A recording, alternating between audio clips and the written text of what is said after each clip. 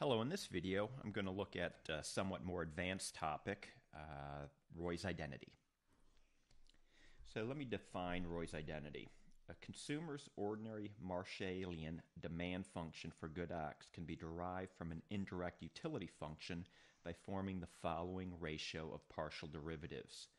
So the demand for good X can be derived by taking the partial derivative of the indirect utility function with respect to the price of good x and dividing that by the partial derivative of the indirect utility function with respect to income.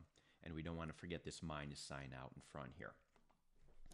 Uh, to recall, an indirect utility function gives us the maximum level of utility from a given set of prices and income, which is consistent with the consumer's constrained optimization problem. So the indirect utility function V is just a function of prices and income, whereas a normal or direct utility function is a function of units of good X and good Y. So let's do a, uh, an example. I'm going to use this utility function, this direct utility function as my example, where utility is a function of x times y subject to the budget constraint where income equals the price of good X times units of good X, the price of good Y times units of good Y. Here is the indirect utility function that falls out of this utility function above. Uh, if you're not sure how to derive an indirect utility function, I have a link in the description of this video below. So to get the demand for good x from this indirect utility function, we're going to take a couple of partial derivatives.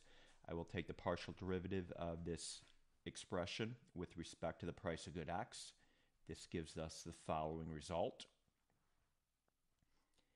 I will take the partial derivative of the indirect utility function with respect to income, and we'll get this result. Forming the ratio of those partial derivatives, so I take here minus the partial derivative of the indirect utility function with respect to price x, gives us this result. And if I divide it by the partial derivative of the indirect utility function with income, I get this. Uh, the two minus signs here will cancel. And then the next thing I'll do is I'll take what's in this denominator and multiply everything through by its reciprocal.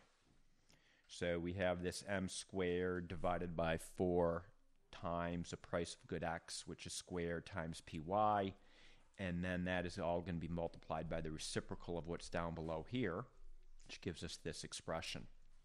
Now, a lot of things will cancel nicely for us. The 4's will cancel. That'll just leave us a 2, so that's where the 2 is over here. Uh, the m squared divided by m just leaves us m.